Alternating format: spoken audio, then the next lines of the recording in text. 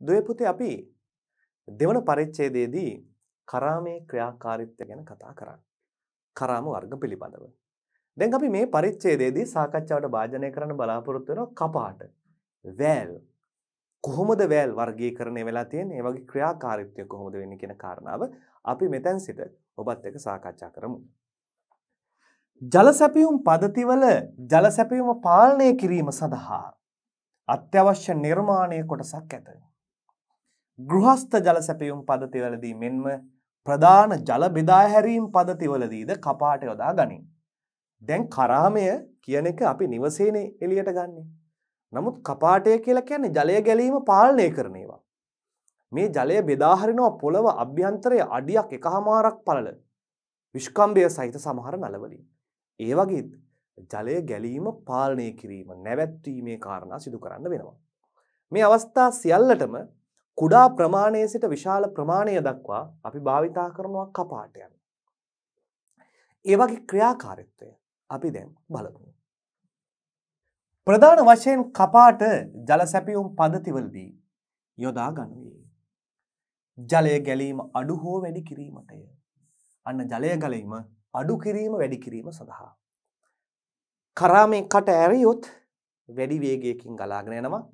කරාමේ කට වැහුවොත් ජලය ගලා යාමේ වේගය අඩු වෙනවා. ඒ නිසා මේ ජලය ගැලීම අඩු හෝ වැඩි කිරීමට අපි මොනවද භාවිතා කරන්නේ? අන්න කපාට භාවිතා කරනවා. ස්වයංක්‍රීයව ජලය ගැලීම නතර කිරීමට ඒ වගේම ජලය ආපසු ගැලීම වළක්වා ගැනීම සඳහා මෙන්න මේ ප්‍රධාන කාරණා සඳහා දැන් ඔබ දන්නව මේ ජලය ගැලීම ආපසු ගැලීම වළක්වා ගැනීම සඳහා තිබෙන උපහංගයක් අපි මේ විදි සාකච්ඡා කරලා තියෙනවා. Non return valve අනාගමන කපාටය. ඒ කපාටයේ ජලය ගලන තියෙන එක් දිශාවකට පමණයි. නමුත් අනාගමන කපාටයෙන් අපි ජලය එළියට ගත්තේ නැහැ. එය කපාටවල තිබෙන විශේෂිත වර්ගයක් ලෙස අපිට ගන්න පුළුවන්. මෙන්න මේ ප්‍රධාන කාර්යයන් තුන කපාටයක් හෙවත් වෑල් එකක්. මේ කපාටට අපි ඉංග්‍රීසියෙන් කියනවා වෑල්. වෑල් එක. වෑල්. දැන් අපි බලමු මේ වෑල් කොහොමද දුවේ පුතේ වර්ගීකරණය වෙලා තියෙන්නේ. පළවෙනි එක නැවතුම් කපාටය. Stop valve. නැවතුම් කපාටය ස්ටොප් වෑල්. වර්ග දෙකක් තිබෙනවා ස්ටොප් වෑල්ලන් ගේට් වෑල් කියලා. මෙයක් ක්‍රියාකාරිත් එක සමානයි. ස්ටොප් වෑල් නැවතුම් කපාටය කුඩා ප්‍රමාණයේ අඩු පීඩනයක් පවතින සාමාන්‍ය ක්‍රියාකාරකම් සඳහා යොදා ගන්නවා. ස්ටොප් වෑල් හෙවත් නැවතුම් කපාටය.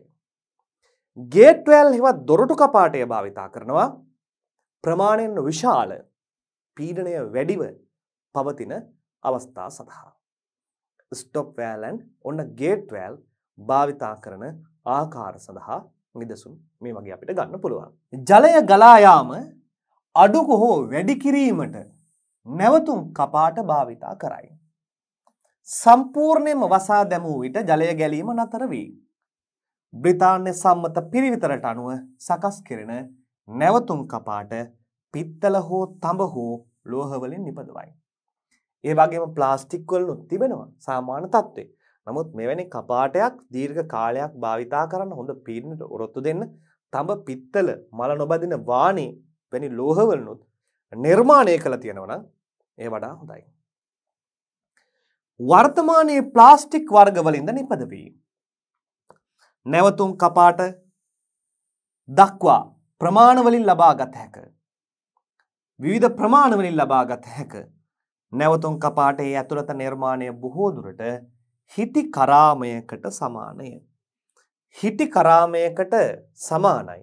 බොහෝ වෙලාවට මේ නැවතුම් කපාටයක ක්‍රියාවලිය. හිටි කරාමේ ක්‍රියාවලියට බොහෝ අවස්ථාවලදී සමානයි. හිටි කරාමය පිළිබඳව දැන් ඔබ මතක් කරගන්න. මෙන්න මේ රූපරාමුව දෙස අවධානය යොමු කරන ඔබට පිත්තල තඹ වැනි ද්‍රව්‍යයකින් මේ කපාටය වෑල් එක නිර්මාණය කළ තිබෙනවා. මෙයාගතන විශේෂ ලක්ෂණය දුවේ පුතේ මෙයාගේ දෙපසම ජලනලයට සම්බන්ධ කළ යුතුයි. මෙයාගේ දෙපසම ජලනලයට සම්බන්ධ කළ යුතුයි. දැන් මෙයාගේ දෙපස ජලනලයට සම්බන්ධ කරන අවස්ථාවේදී ඔබ හොඳින් මතක තබා ගන්න මේ කරාමය ඇතුලේ වගේ නෙවෙයි කපාටේ ඇතුලේ වෑල් එක ඇතුලේ පොටක් දෙනවා ත්‍රෙඩ් එකක්. එහෙමනම් බටේ ත්‍රෙඩ් එකක් නැහෙනේ. ත්‍රෙඩ් එක කියලා කියනවා පොට. මේ බට තියෙන්නේ ප්ලේන් බට. ඒ ප්ලේන් බටය මේ වෑල් එකට සම්බන්ධ කිරීමේදී තවත් කොටසක උපකාරිත්වයක් අපිට අවශ්‍යයි. ඒවට අපි කියනවා සොකට්ස් කියලා. ජලනල හා සම්බන්ධ බැඳි උපාග. අපි ඒවා පිළිබඳ ඉස්සරහදී කතා කරනවා.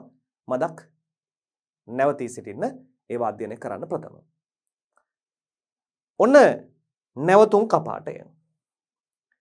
මේ තියෙන ප්‍රධාන ලක්ෂණය විශේෂ ලක්ෂණය මෙයාගේ තියෙන බොහෝ අවස්ථාවල හැඩලයක්. දොරටු කපාටයට එනකොට භාවිතා කරන නලයේ පීඩනය අධිකයිනේ. එවන අවස්ථාවක මේ හැඩලය වෙනුවට වෘතාකාර හැඩලයක් එයාගේ ක්‍රියා කරවීම පහසු කිරීම සඳහා යොදාගෙන තියෙනවා. මේක නිකන් හැඩලයක් තියෙන liverයක් වගේ. අරකේ තියෙන ගේට් වෑල් එකේ තියෙන වෘතාකාර හැඩලයක්. රබර් වොෂරය සහිත කපාට paludu වූ විට අලුත් වැඩියා කළ හැක. මෙහි ඉද්ද සහිත හැඩලයද හිටි කරාමයට සමාන වේ. ගෘහස්ත ජල සැපයුම් පද්ධතිවල බොහෝ විට යොදා ගන්නා නැවතුම් කපාට සවි කිරීමේදී නියමිත දිශාවට සවි කළ යුතුය. නැවතුම් කපාට අපි කලින් සඳහන් කර පරිදි ගත්තහම බොහෝ අවස්ථාවල මෙන්න මේ හැඩයක් තමයි මේ නැවතුම් කපාටවල තියෙන්නේ. ඔන්න ඔය හැඩයක්. ප්ලාස්ටික් වලින් නිර්මාණය කරලා තියෙන ඒවා. මෙන්න මේ වගේ liverය ඔබට බලා ගන්න පුළුවන් රතු පැහැ සහ නිල් පැහැයෙන්. මෙයාගේ ඇතුලේ ත්‍රෙඩ් එක තියෙනවා. මේ ඇතුලේ ත්‍රෙඩ් එක තියෙනවා. හැන්ඩ්ලය, liverය කියලා කියනවා. මෙයාගේ ජලය ගැලීමේ දිශාව ඊතලයකින් සඳහන් කරලා තියෙනවා. අනිත් පැත්තට සම්බන්ධ කර ජලය යනවා අනාගමන කපාටය වගේ ජලය ගැලීම නවතින්නේ නමුත් අපි හොඳ ජල ශීඝ්‍රතාවයක් පවත්වා ගැනීම සඳහා මේ ඇරෝ එක එහෙම නැත්නම් ඊතලයේ තන දිශාවට සම්බන්ධ කිරීම වැදගත් වෙනවා. දිශාව අනිත් පැත්ත හරවලා සම්බන්ධ කරා කියලා ජලය ගැලීම නවතින්නේ නැහැ. ගලා යනවා. නිවැරදි ක්‍රියාකාරීත්වය ප්‍රමිතියකට ඊතලයේ තන දිශාවට සම්බන්ධ කළ යුතුයි. කපාටයේ පිටපැත්තේ ගැලීම දිශාවේ ඊතලයක් මගින් සලකුණු කරලා තියෙනවා. මෙයාගේ පිටපැත්තේ ජලය ගලන ඊතලයක් හොඳාකාරව පේනවා. එය සම්බන්ධ වෙලා තියෙනවා. ඊළඟට එනවා දොරටු කපාටය. දැන් මම ඔබට කිව්වා දොරටු කපාටය අඳුරා ගන්න තියෙන විශේෂ ලක්ෂණය මේ තනි liverය වෙනුවට තියෙනවා වෘත්තාකාර රවුම් කොටසක්. මෙයත් අපි කරකවනවා. මේ කරකන අවස්ථාවේදී අර රබර් වොෂර් කොටස් සම්බන්ධ වීම, විසන්ධි වීම, සම්බන්ධ වීම, විසන්ධි වීම සිදු වෙලා මේ කපාටය හරහා ජලය ගලන මාර්ගය ඇරීම වැසීම දුවේ පුතේ සිදු වෙනවා. දැන් මෙයාට පුළුවන් අරට වඩා වැඩි පීඩනයක් දරා ගන්න. එහෙම නැත්නම් ඉහළ පීඩනය තියෙන ස්ථානවල අපිට නිවැරදි ආකාරයෙන් මෙය භාවිතා කිරීමේ හැකියාව තියෙනවා. නැවතුම් කපාටේ අවශ්‍යතාවය දොරටු කපාටයෙන්ද සපුරා ගත හැකිය. මෙය පිත්තල හෝ තඹ ලෝහ වලින් නිපදවා තියෙනවා. මෙයා මොනවාගේද නිපදවලා තියෙන්නේ? පිත්තල, තඹ වැනි විශේෂිත ලෝහ වර්ග වලින් නිපදවලා තියෙනවා. වැඩි පීඩනයක් සහිත ජලනල සඳහා මෙම කපාටය සවි කිරීමෙන් වසා දැමීම සහ විවෘත කිරීම පහසුවෙන් කළ හැකිය. වැඩි පීඩනයක් සහිත නල මේ සඳහා භාවිතා කරනවා. ඒවා වසා දැමීම විවෘත කිරීමේ හැකියාව දුවේ පුතේ පවතිනවා. එයා වසා දැමීමේ විවෘත කිරීමේ හැකියාව පවතිනවා වැඩි පීඩනයක් පවතින මේ කපාට වලින්. ඒ වගේම ජලය ගැලීම කෙරෙහි ඇති කරන ඝර්ෂණ ප්‍රතිරෝධය නැවතුම් කපාතයට වඩා අඩුවන ලෙස සිරස්ව පහළට ක්‍රියා කරන දොරටුවක ආධාරයෙන් සකස් කර ඇත. දැන් අපිට නැවතුම් කපාටයට වඩා තරමක් මෙයාගේ ගුණාත්මක භාවය වැඩි. නැවතුම් කපාටයට යොදන්න තියෙන ආයාසයට වඩා අඩු ආයාසයකින් මේ දොරටු කපාටය ගේට් වෑල් එක ක්‍රියා කරවන්න පුළුවන්. මේ කරන්නෙම අධික පීඩනයට දුවේ පුතේ ඔරොත්තු දෙන්න. මේ හැඩලය වෘතාකාර හැඩයක් ගෙන තිබීම නිසා ක්‍රියා කරවීමේදී පහසුවක් දැනේ. වෘතාකාර හැඩලයක් තිබෙන නිසා අපිට ක්‍රියා කරවන්න අපි යොදන ආයාස බලය අඩු ආයාස බලයකින් වැඩි කැරකුමක් තෙරපුමක් අපිට ලබා දීමේ හැකියාව දුවේ පුතේ තියෙනවා. ඒ වගේම කපාටය ක්‍රමයෙන් ගෙවී යාමේදී එය වසා දැමූ පසුවද ජලය කාන්දුයි හැක. මේ සෑම කපාටයකටම කරාමයකටම තිබෙන ලක්ෂණයක්. කාලයාගේ ඇවෑමින් මෙය ක්‍රියාත්මක කිරවීමේදී එහි දෝෂ සහගත තත්ත්වයන් අනිවාර්යයෙන්ම දුවේ පුතේ ඇති වෙනවා. ඒ නිසා කාලයාගේ ඇවෑමෙන් මේවා නඩත්තු කිරීම, රැපයා කිරීම, නැවත අලුතෙන් යෙදීම මේ වගේ කරුණු සිදු කළ යුතු වෙනවා. මෙය නැවතුම් කපාටය මෙන් අලුත් වැඩියා කිරීම අපහසුය. නැවතුම් කපාටේ වෘත්තාකාර මිට කොටස නිල් රතු වැනි වර්ණ ඇල් ජලය සහ උණු ජලය සැපයුම් පද්ධති හඳුනා ගැනීම සඳහා සකස් කර ඇත. අන්න විශේෂ කාරණාවක් අපිට දැන් එළියට එනවා. දැන් අපි කිව්වනේ ඔබට නාන බේසම දෝන බදුනේ තිබෙනවා කියලා කරාම වර්ග දෙකක්. සිසිල් ජලය සහ උණුසුම් ජලය. දැන් මේ නලවලට සම්බන්ධ කෙරෙනවා නැවතුම් කපාට නෙවෙයි දොරටු කපාට. මේ දොරටු කපාටවලට විශේෂ හැකියාවක් තියෙනවා උණුසුම් තත්ත්ව සිසිල් තත්ත්ව පාලනය කරන්න. මේ නැවතුම් කපාටවල කරන්න බෑ. ඒ නිසා එවැනි තැන්වලට සිසිල් ජලය උණු ජලය ගමන් කරන තැන්වලට දෙයපුත අපි බොහෝ අවස්ථාවලදී යොදන්නේ දොරටු කපාට. Gate valve. ඒ කාරණාව හොඳින් සිහියේ තියාගන්න. මෙහි ජලය ගැලීමෙන් ඇතිවන ඝර්ෂණ හානිය අඩු බැවින් ජලගබඩා ටැංකි වලින් ජලය පිටතර ගන්නා නල සඳහා දොරටු කපාට විශේෂයෙන් යොදා ගැනීම. දැන් මේ තියෙනවා ටැංකිය. බලන්න හොඳට. දැන් මේ ටැංකියේ උඩ විභව ශක්තිය අන්තර්ගත වෙලා තියෙන නිසා අපි පිටමුව මෙන්න මේ ස්ථානයේනේ තියෙන්නේ. දැන් මෙන්න මේ වගේ තැනකට අපි අනිවාර්යෙන් සම්බන්ධ කරනවා දොරටු කපාටයක්. දොරටු කපාටයක්. එහෙම නැත්නම් ගේට් වෑල්. ඇත්ත වශයෙන්ම දැන් මේ ගේට් වෑල් එක මම මේ පෙන්ලා දෙන්නේ උඩින් බොහෝ වෙලාවට අපිට මේ පොළවින්දලා අත උස්සන්න පුළුවන්. අතෙන් දොරින් හයි කරන්න පුළුවන්, ගලවන්න පුළුවන් තැනක තමයි මේ සවි කරලා තියෙන්නේ.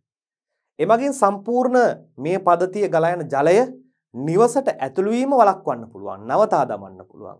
එයා ගිහල පීරණයක් තියෙන නිසා මේ වගේ තැන්වලට අපි විශේෂ වශයෙන් භාවිතා කරන්නේ දොරටු කපාටය.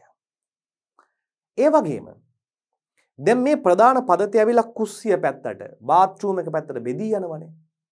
බාත්රූම් එක අභ්‍යන්තරයේ සමහර අවස්ථාවල නඩත්තු කටයුතු කරන්න වෙනවා.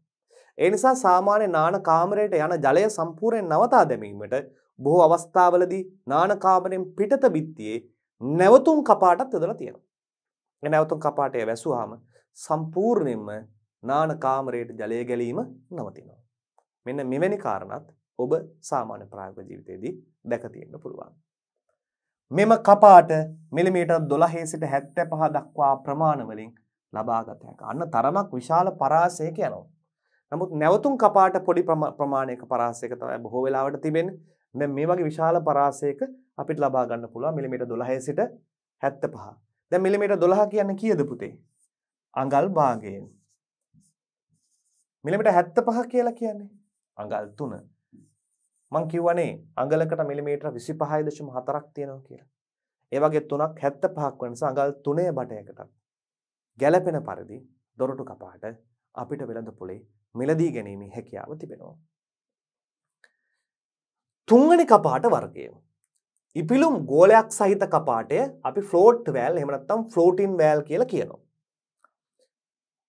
ඔබටම ඍජු ක්‍රමය වක්‍ර ක්‍රමය ගැන සාකච්ඡා කරද්දී පළවන පරිච්ඡේදයේදී වක්‍ර ක්‍රමයේදී අපි කිව්වා ප්‍රධාන සැපයුමෙන් ලැබෙන ජලය උඩිස් ජලගබඩා ටැංකියක ස්ථානගත කරනවා කියලා. උඩිස් ජලගබඩා ටැංකිය ස්වයංක්‍රීයව ඇරීම වැසීම මේ සිදු කිරීම සඳහා මෙන්න මේ ඉපිලුම් ගෝලයක් සහිත කපාටය භාවිතා කරනවා.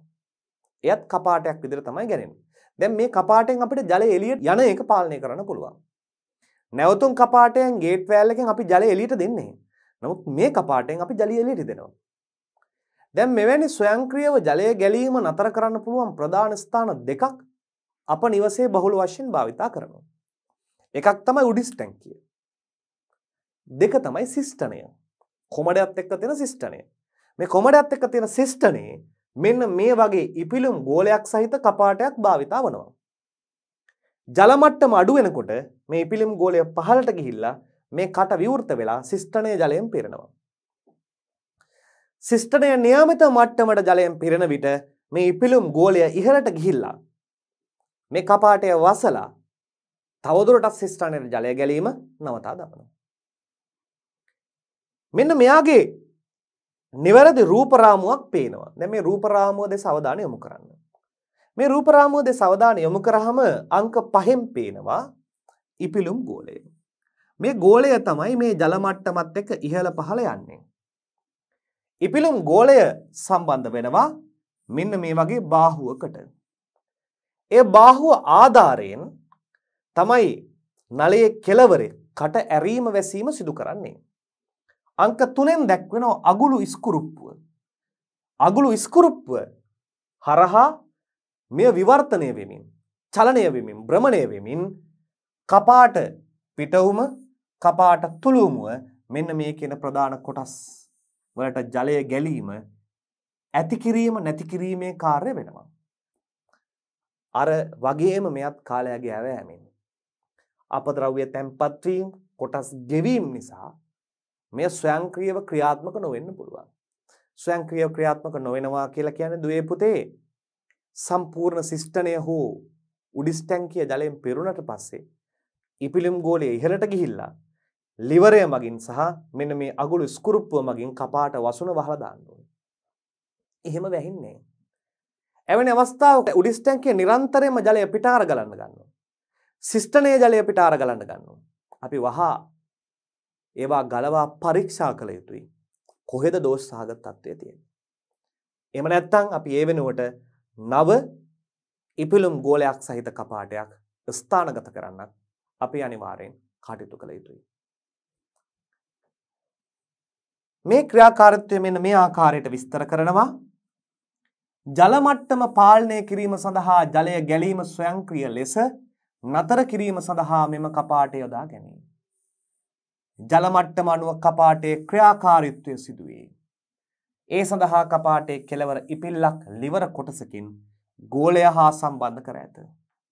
ඉපිල්ලක් ලිවර කොටසකින් ගෝලයත් එක්ක සම්බන්ධ කර තිබෙනවා. ජලමට්ටම ඉහළ පහළ ගමන් කරන විට සිදුවන ගෝලයේ ඉපිලීම අනුව කපාටේ විවෘතවීම හෝ වැසීයාම සිදුවේ. ගෝලය ඉහළ පහළ ගමන් කරන අවස්ථාවේදී කපාටේ ඇරීම වැසීම නිවැරදි ආකාරයෙන්ම පාලනය වෙනවා. ඉපිලුම් ගෝලය සහිත කපාටය. දොරටු කපාටය නැවතුම් කපාටය ඉපිලුම් ගෝලය සහිත කපාටය දැ වර්ග තුනයි. ඊළඟට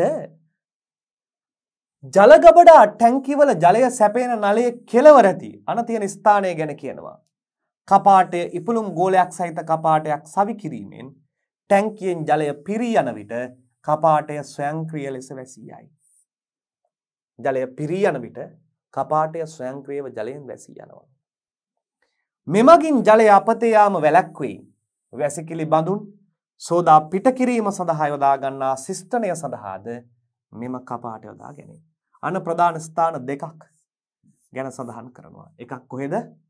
අපේ නිවස ඉහළින් තියෙන උඩිස්ටැංකිය ස්වයංක්‍රීය ජලය ඇරීම වැසීම සඳහා වැසිකිළියේ තිබෙන සිස්ටනයට ජලය පිරීම ස්වයංක්‍රීයව ඇති කිරීම නැති කිරීම සඳහා ඕන්න අපි ස්ථාන දෙකකට මේ ඉපිලුම් ගෝලයක් සහිත කපාටය භාවිතා කරනවා. තවත් විශේෂ ස්ථානයක් තියෙනවා අපි එකට කියනවා පා කපාටය. ෆුට්වෑල්. ඔබට මතක ඇති දුවල පුතාලට තරල යන්ත්‍ර විද්‍යාවේදී අපි කතා කරා කේන්ද්‍රාපසාරී පොම්පය ගැන. මේ කේන්ද්‍රාපසාරී පොම්පය මෙන්න මේ වගේ තියෙන විටදී මෙන්න තියෙන විසර්ජන නලය. චූසන නලය මෙන්න මේ ආකාරයට තියෙන චූසන නලය. මේකට අපි කියනවා චූසන නලය. චූසන නලය. මේකට දුවේ පුතේ කියලා කියනවා විසර්ජන නලය.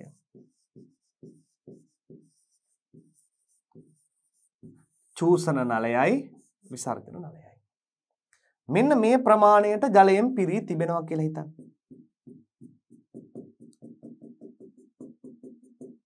මෙන්න මෙයාගේ කෙලවර තමයි තිබෙන්නේ මෙන්න මේ අපි කතා කරන පා කපාටය. පා කපාටය. එහෙම නැත්නම් ෆූට් වෑල්. මේකට අපි ව්‍යවහාරයේ ගමේ ගොඩේ කියනවා ෆුට්ටෑල් එක කියලා. දැන් ෆුට්ටෑල් එක කියන එක තමයි මේ ෆුට් වෑල් කියන එක තමයි ෆුට්ටෑල් එක කියලා හැදලා තියෙන්නේ. දැන් මෙයාගේ සම්පූර්ණයෙන්ම ජලය ගලන්න නම් මේ චූසන බටය සම්පූර්ණයෙන් ජලයෙන් පිරී තිබිය යුතුයි. එහෙම වුණොත් තමයි මේ තරලය මේ පම්ප් එක ක්‍රියාත්මක වෙන අවස්ථාවේදී මේ තරලය ඇදින්නේ. මේ පම්ප් එකේදී වාතය නැතිව සම්පූර්ණයෙන්ම ජලයෙන් පිරී තිබුණොත් එකවර ඇද ගන්න පුළුවන්. එතකොට මේ දිශාව පහළ ඉඳලා ඉහළට ජලය ගලා යා යුතුයි. මෝටරය නවත්තනවා. මෝටරය නවත්තන අවස්ථාවේදී පොම්පය නවස්තන අවස්ථාවේදී නැවතතාක් මේ ජලය පහළට වැටීම වළක්වනවා.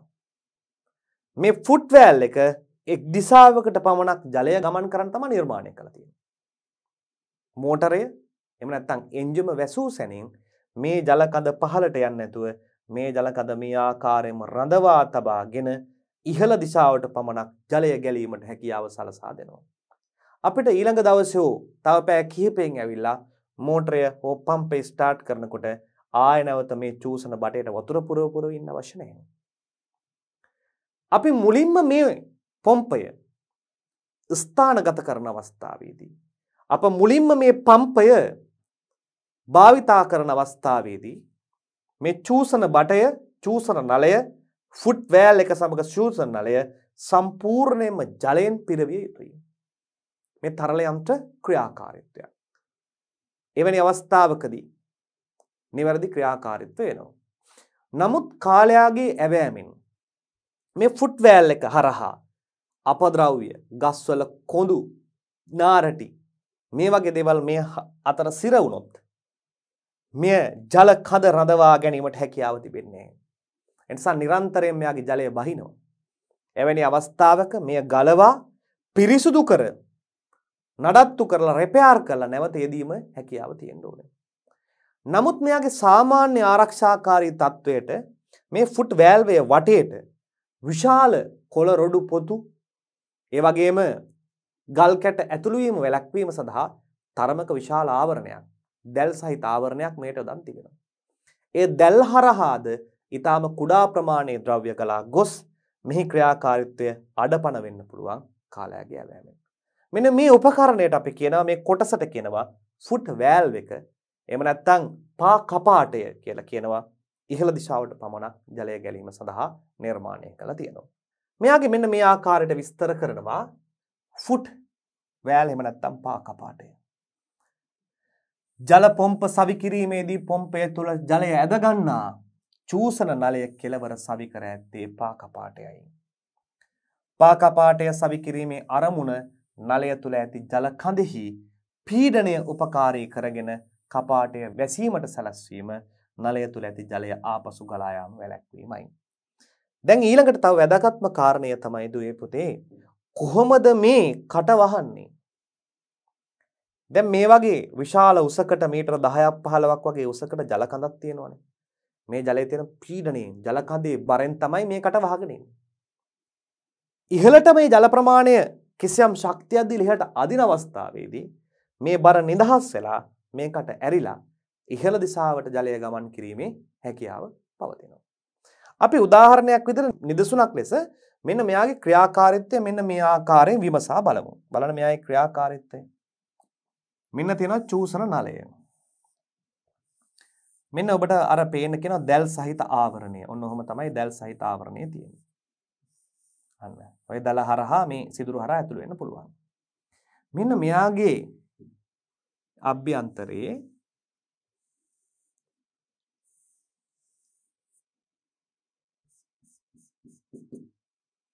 මම නිල් පාටින් පෙන්වන්නම් ජල කඳ. විවිධාකාර ක්‍රියාකාරීත්වයක් තියෙනවා. හොඳ මතක තියාගන්න. මේ ජල කඳෙන් ලැබෙන ස්කන්ධයෙන් ගුරුත්වයෙන් මේ කළු පැහැති බෝලය විසින් මෙන්න මේ කට විවරය වසා ගන්නවා. තද වෙලා වහ ගන්නවා. එතකොට කිසිම අවස්ථාවක ජලය පහළට යන්නේ අර ජලකඳ ඉහළ තියෙනවා.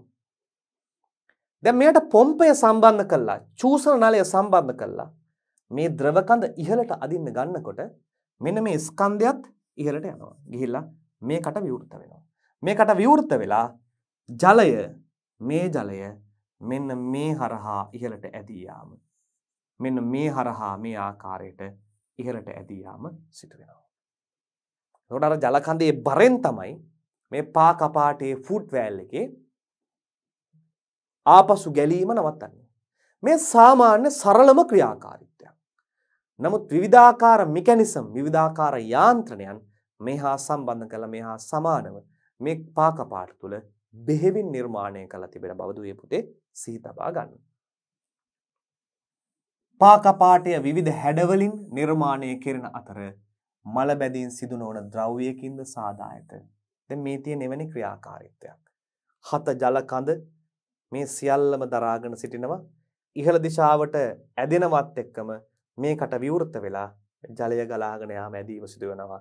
අර මේ ජල කඳේ ස්කන්ධයෙන් තමයි මේ කපාටය ක්‍රියාත්මක වීම සිදුවන්නේ. ඊළඟට අපි එමු පස්වන කපාට වර්ගය අනාගමන කපාටය නන් රිටර්න් වෑල්. අනාගමන කපාටය නන් රිටර්න් වෑල් ක්‍රියාකාරිත්වය දෙස අපි අවධානය යොමු කරමු. දැන්දුවේ පුතේ බලන්නකොම යාගේ ක්‍රියාකාරීත්වය. ඔබට පේනවද මෙන්න මේ වසුන කොටස. මෙන්න මේ වසුන කොටස මෙන්න මේ ඉස්කුරුප්පුව වටා විවර්තනය වෙන්න පුළුවන්. මේ දිසාවෙන් ජලය ආවහම මෙන්න මේ කොටස විවර්තනය වෙලා ඉහළට යනවා. ඉහළට ගිහිල්ලා මේ හරහා ජලය ගමන් කරන්න අවස්ථාව සලසා දෙනවා. මෙන්න මේ වටා විවර්තනය වෙන ස්කෘප් පැනය වටා විවර්තනය. මේ ජලපහරින් මෙයාගෙතන කට මෙහෙම අරිනවා. ජලපහරින් මෙයාය කට අරිනවා. ඊට ප්‍රතිවෘද්ධ පැත්ත.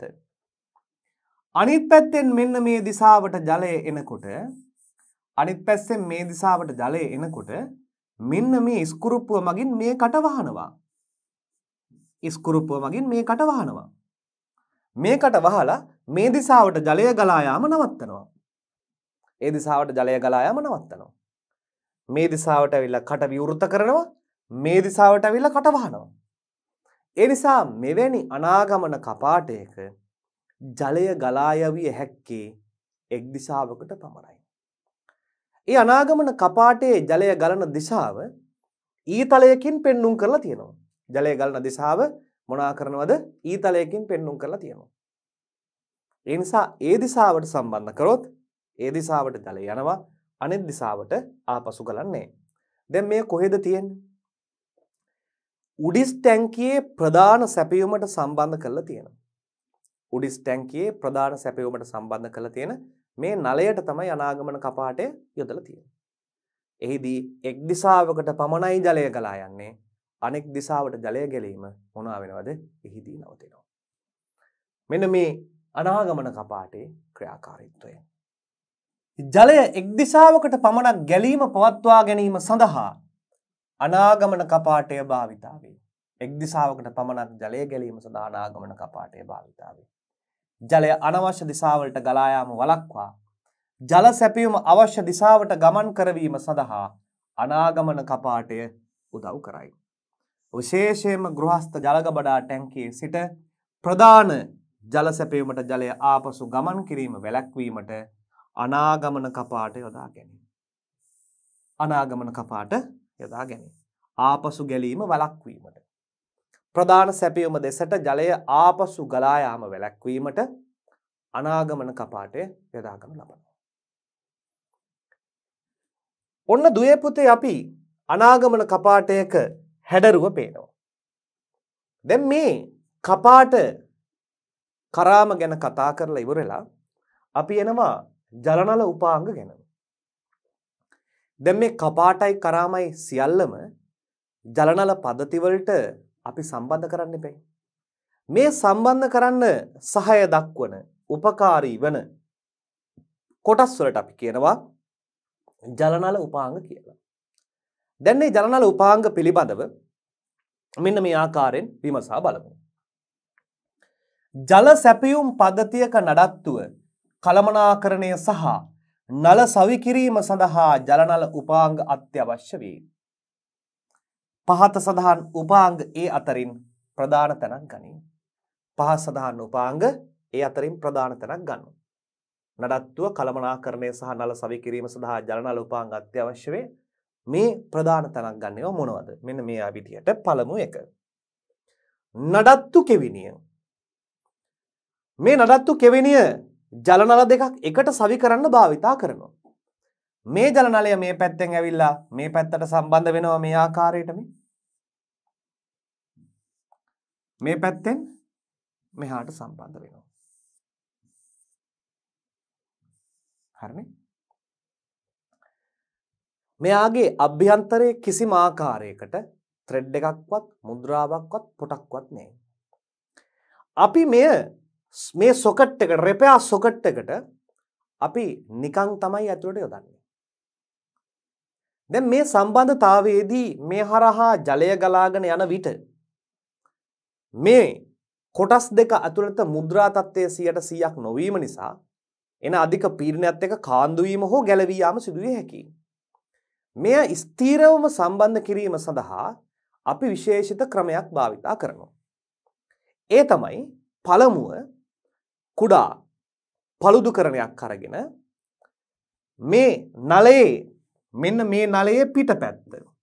මේ සම්බන්ධන නලයේ පිටපැත්තත්. මේ කෙවිනියේ ඇතුළු පැත්තත්. නලයේ පිටපැත්ත හා කෙවිනියේ ඇතුළු පැත්ත. සූරලා පළුදු කිරීමක් කරලා පස්සේ පිහදානවා ඉන්පසු අපි මෙතට ආලේප කරනවා. අපි එකට කියනවා ද්‍රාවීය සිමෙන්ති. එහෙම නැත්නම් අපි ඒවට කියනවා සොල්වන්ට් සිමෙන්ට්. ද්‍රාවීය සිමෙන්ති එහෙම නැත්නම් සොල්වන්ට් සිමෙන්ට්. ආලේප කරලා මද වෙලාවක් තියෙනවා. එතකොට මොකද්ද වෙන්නේ මේ පෘෂ්ඨය යම් තාක් දුරකට උණු වෙනවා. අන්න අපි කෙවිනිය එහෙම නැත්නම් සොකට් එක තුලට බට යොමු කරනවා. බටයයි සොකට් එකේ පැත්තයි එකලසක් ලෙස පෑස්සෙනවා. සොකට් එකයි බටයයි එකලසක් ලෙස පෑස්සෙනවා. මද වෙලාවක් තිබ්බට පස්සේ එය උණු වෙලා ස්ථීරව සම්බන්ධ වෙනවා. ආය ගලවන්න පුළුවන්ද? බෑ. ඒ නිසා කිසිදු කාන්දුවකුත් මේ හරහා වෙනවද? නෑ. ඒ තමයි සාමාන්‍යයෙන් නඩත්තු කෙවිනියක දෙපැත්ත බට දෙකක් සම්බන්ධ කරන ආකාරය. ඇයි මෙසේ කරන්නේ? අපිට බටයක ලැබෙන්නේ නිශ්චිත දෙක ප්‍රමාණයක්. ඒ නිසා මේ පරිපත සම්බන්ධ කරන අවස්ථාවේදී සෑම විටකදීම මේ බටවල දිග ප්‍රමාණ වැඩි කරගන්න වෙනවා. සමහර අවස්ථාවලදී කැපුම් කොට බට නාස්තීම් වලක්වා ගැනීම සඳහා ඒවා එකිනෙක මේ වගේ නඩත්තු කෙවිනි රෙපයා සොකට් භාවිතා කරමින් යොදා ගැනීම සිදු වෙනවා. ඒ වගේම මේ විශේෂයෙන්ම භාවිතා කරනවා මෙන්න මේ ආකාරයට. දැන් දුවේ පුතේ මෙන්න මෙතන තියෙනවා නලයක් ජලය ගලාගෙන යන නලයක්. මෙන්න මෙතන paludu වෙනවා. ඕන්න ඇති වෙනවා මෙතන මොකද්ද? paludu වීමක් ඇති වෙනවා. දැන් මේ අවස්ථාවේදී මොකද්ද කරන්නේ? මෙන්න මේ ස්ථානයෙන් සහ මේ ස්ථානයෙන් නලය කපලා අයින් කරනවා මැද කෑල්ල. ඉන්පසු මෙන්න මේ ස්ථානයට නඩත්තු කෙවිනියක්. ඔන්න ඔය ආකාරයෙන් සම්බන්ධ කරනවා. මේ ස්ථානයටත් නඩත්තු කෙවිනියක් මෙන්න මේ ආකාරයෙන් සම්බන්ධ කරනවා. සම්බන්ධ කරලා අර ජලයේ ගලා යාම එන්න ඒ ආකාරයෙන්ම පවත්වා ගැනීම සිදු කරනවා. එතකොට නඩත්තු කෙවිනි කීයක් අවශ්‍ය නැද්ද මේ ස්ථානයට? දෙකක් අවශ්‍ය වෙනවා. ඒ වගේම තව අමතර බට කැබැල්ලක් අවශ්‍ය වෙනවා. මෙන්න මෙවැනි අවස්ථා සඳහා බොහෝ සෙයින්ම අපිට මේ නඩත්තු කෙවෙනි අවශ්‍ය වෙනවා. ඒ නිසා ඔබේ නිවසේ ගබඩාවේ අනිවාර්යයෙන්ම පවත්වා ගත යුතු තබා ගත යුතු කොටසක් විදියට මෙන්න මේ විවිධාකාර විශ්කම්භය සහිත නඩත්තු කෙවෙනි අපිට නම් කරන්න පුළුවන්. ඒ සමගම කුඩා හැක්සෝ බ්ලේඩ් එකක් පළුදු කිරීම සඳහා. ඒ වගේම පිරිසිදු රෙදි කැබැල්ලක්. ඒ වගේම ද්‍රාවීය සිමෙන්ති සොල්වන්ට් බෝතලයක් මේ ළඟ තබා ගැනීම ඔබේ කාර්යභාරය මෙවැනි අවස්ථාවකදී පදතියේ ජලය ගලනවා නම් එය తాවකාලිකව නවත්තන්න පුළුවන් මේ සෑම නලයක් හා සම්බන්ධ නැවතුම් කපාටයක් හෝ දොරටු කපාටයක් තියෙනවා. ඒ නැවතුම් කපාටය දොරටු කපාටය සම්පූර්ණයෙන් නවතවලා මේ නලේ ගලා යන ජලය සම්පූර්ණයෙන් ඉවත් කරලා ඒ ප්‍රදේශයට ජලය එන්නේ නැති වෙන්න තත්වයට පත් කරලා අපිට පුළුවන් මේ නඩත්තු කෙවිනිය රෙපයා සොකට් එක මේ අබලං වූ ස්ථානයට සම්බන්ධ කිරීම සිදු කරන්න. ඊළඟට අපි එනවා කපාට කෙවිනිය වෑල් සොකට්. නලයකට කපාටයක් සම්බන්ධ කිරීම සඳහා භාවිතා කෙරේ. කපාට කෙවිනිය. ඔන්න හොඳට තේරුම් ගන්න දුවේ පුතේ කපාට කෙවිනිය. කපාටය කොහොමද තියෙන්නේ? මෙන්න කපාටේ හැඩය. අපි කලින් ඔබට ඇඳලා පෙන්නවා කපාටේ හැඩය. මේ තියෙන කපාටේ හැඩය. මේ කපාටේ පොට කොහෙද තියෙන්නේ? ඇතුළත. මේ කපාටය. කපාටය. මෙයා මොකද්ද? කපාට කෙවිනිය. අර කපාටය කපාටය සම්බන්ධ කරන කපාට කෙවිනිය. පැටලෙන්න පුළුවන් ස්ථානයක් හොඳින් මතක තබා ගන්න ඕන කපාට කෙවිනිය. අපි ඒකට කියනවා වැල් සොකෙට් කපාට කෙවිනිය එම නැත්නම් ඒකට අපි කියන ලස්සන නම මොකද්ද වැල් සොකෙට් මෙයාගේ පොට තියෙන්නේ එළියේ මෙයාගේ පොට තියෙන්නේ ඇතුලේ එළියේ පොට තියෙන එකක් ඇතුලේ පොට තියෙන එකට සම්බන්ධ කරනවා දැන් ඔබ හොඳින් මතක තියාගන්න කපාට කෙවිනිය කියලා කිව්වහම කපාටේ පොට තියෙන ස්ථානය මතක තියාගන්න සියලු කපාටවල පොට පිහිටා තිබෙන්නේ අභ්‍යන්තරයේ. එහෙනම් අභ්‍යන්තරයේ පොට පිහිටා තිබෙන අවස්ථාවකදී ඒ හා සමග සම්බන්ධන කෙවිනියේ සොකට් එකේ පොට එළියෙන් තියෙන්න ඕනේ. එළියෙන් තියෙන්න ඕනේ. මේ වගේ කරාමේ කපාටයට මේ වගේ කපාට කෙවෙන කීයක් සම්බන්ධ වෙන්න ඕනද දෙපැත්තෙන් දෙකක්. කපාට කෙවෙනි දෙකක්. වෑල් සොකට් දෙකක්. ඒ වෑල් සොකට් දෙක සම්බන්ධ ත්‍රෙඩ් එකක් දාලා. ත්‍රෙඩ් එක මේ ත්‍රෙඩ් එක දාලා මෙහෙම කරකවනවා. කැරකුවා මේ කොටස මෙයාට සම්බන්ධ වෙනවා. නමුත් නියමිත ආකාරයෙන් මේ පවතීද? අනිවාර්යයෙන්ම මේ කරාමය හරහා යන ජලය කපාටය හරහා යන ජලය මෙන්න මේ පොට හරහා ඉවතට දුවේ පුතේ කාන්දු වෙනවා. පොට හරහා ඉවතට කාන්දු වෙනවා. දැන් මෙවැනි අවස්ථාවකදී මේ කාන්දුව වළක්වා ගැනීම සඳහා මෙවැනි අවස්ථාවකදී කාන්දුව නවතා ගැනීම සඳහා අපි භාවිතා කරනවා ත්‍රෙඩ් ශීල් එහෙම නැත්තම් මුද්‍රා පටි. සුදු පැහැතිතාම තුනී පටියක්. ඒ තුනී පටිය ඔතනම එළියේ මේ පොට වටා වට කිහිපයක් ඔතනවා. වට කිහිපයක් ඔතලා ඒ මුද්‍රා පටියත් එක්ක කපාටයට සම්බන්ධ කරනවා. ඒ මුද්‍රා පටියත් එක්ක කොහාට සම්බන්ධ කරනවද? කපාටයට සම්බන්ධ කරනවා. මේ කපාටයට සම්බන්ධ කරාම මේ ජලය ගලා යාම යන විටදී මේ හරහා ජලය කාන්දු වීම මොනවා වෙනවද වලකිනවා. මේ ආකාරයටම වම් පසට සහ දකුණු පසට මේ දෙකටම මුද්‍රාපටි සම්බන්ධ කළ යුතුයි. දෙපසටම මොනා කළ යුතුද මුද්‍රාපටි සම්බන්ධ කළ යුතුයි. ඊට පස්සේ තමයි දුවේ පුදේ සාමාන්‍ය පරිදි සාමාන්‍ය කෙවිනියක් ආකාරයට තමයි මෙයාගේ අනිත් පැත්ත පිහිටන්නේ. එයාට අර කලින් කතා කරපු විදියට මෙයාගේ අභ්‍යන්තරය සහ නලයේ පිට පළුදු කරලා පිරිසුදු කරලා ද්‍රාවීය සිමෙන්ති ගාලා මෙන්න මේ කොටස් දෙක සම්බන්ධ කරන්න. දැන් එතකොට නලයක් සම්බන්ධ කරන්න සාමාන්‍ය කෙවිනියක ආකාරයකුයි කපාටය සම්බන්ධ කරන්න එළිය ත්‍රෙඩ් එකකුයි යොදන්නේ ඇයි? අපි මේ කපාටය නිරන්තරයෙන් ක්‍රියාත්මක කරන අවස්ථාවකදී අපි මේ කපාටය නිරන්තරයෙන් ක්‍රියාත්මක කරන අවස්ථාවකදී දුවේ පුතේ මතක තබා ගන්න මෙය ක්‍රියා විරහිත වෙන්න පුළුවන්. මෙය කැඩී යන්න පුළුවන්. මෙය අබලන් වී යන්න පුළුවන්. එවැනි අවස්ථාවකදී මෙය නැවත අලුත් කොටසක් සම්බන්ධ කරන්න අපිට හරි පහසුයි. මේ ත්‍රෙඩ් එක වටා මේ ගලවන්න පුළුවන්. ගලවලා නැවත අලුතෙන් මුද්‍රා පටි ත්‍රෙඩ් ශීල් යොදලා මෙයට නව කපාටයක් යෙදීමේ හැකියාව පවතිනවා. මේට නව කපාටයක් යෙදීමේ හැකියාව දුවේ පුතේ පවතිනවා. ඒ නිසා තමයි මේ වගේ ත්‍රෙඩ් ඒ වගේ පොට සහිතව මෙන්න මේ කපාට කෙවිනි නිර්මාණය කළා තියෙනවා. උතර මතක තියාගන්න. කපාටේ පොට තියෙන කොහෙද? ඇතුලේ. ඒට සම්බන්ධන කපාට කෙවිනියේ පොට තියෙන කොහෙද?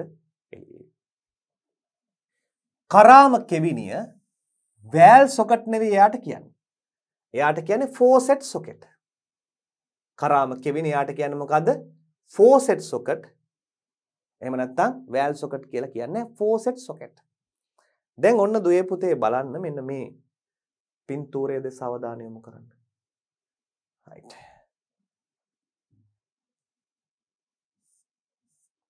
මෙන්න තියෙනවා කරාමය.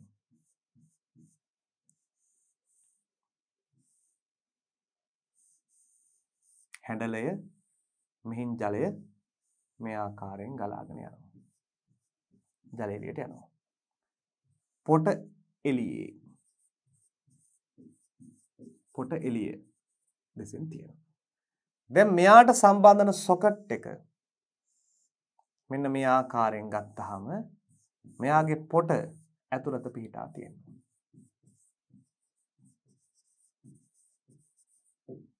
මෙය සාමාන්‍ය පරිදි සම්බන්ධ වෙනවා. දැන් මෙයාට අපි කියනවා කරාමය මෙයාට කියනවා කරාම කෙවිනිය.